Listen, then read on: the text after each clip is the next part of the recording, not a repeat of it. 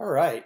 Now, the first uh, types of equilibrium problems we've actually already done, uh, but we're going to really delve into it pretty deeply here.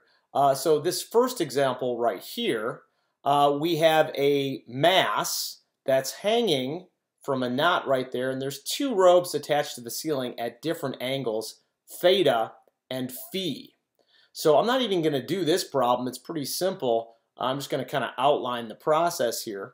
Um, you could analyze this about uh, any axis that you want, uh, but in this situation, there are no torques about this knot axis.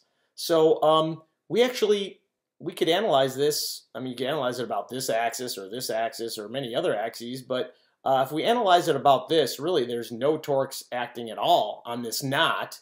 So we can actually solve this with simply two equations. Uh, and again, it will always be the same three equations. Um, and we this time we only need two of them. There's no torques about the knot axis. So all we're going to have to do is say the net force in the x direction equals zero and the net force in the y direction equals zero. Again, free body diagram is critical. Uh, we've got these two uh, tensions right here, T1 and T2. They will not be equal if these angles are not equal. We divide each of the tensions up into components.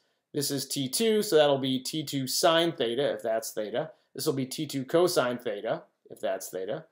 On this side, if that's angle phi, this will be T1 cosine phi, T1 uh, sine phi. And the downward force on the knot mg. Then write the equations. Net force x equals 0. And we notice that this and this force have to cancel out. Otherwise, this thing would be accelerating horizontally. So there's your equation in the x direction. And then all you need is an equation in the y direction. Notice that the forces acting on this knot, again, I've chosen the knot as the, the thing I'm going to analyze what the force is on. We've got uh, the vertical component of T1, we've got the vertical component of T2, and we got mg. Again, that tension in this rope is only mg because it's not accelerating. The tension in a rope holding up a mass m is not necessarily mg. Uh, it'll be more than mg if it's accelerating up, less than mg if it's accelerating down. If it's moving at constant velocity, or i.e. Uh, at rest is one perfect example of that, then that is the only situation where the tension would be mg.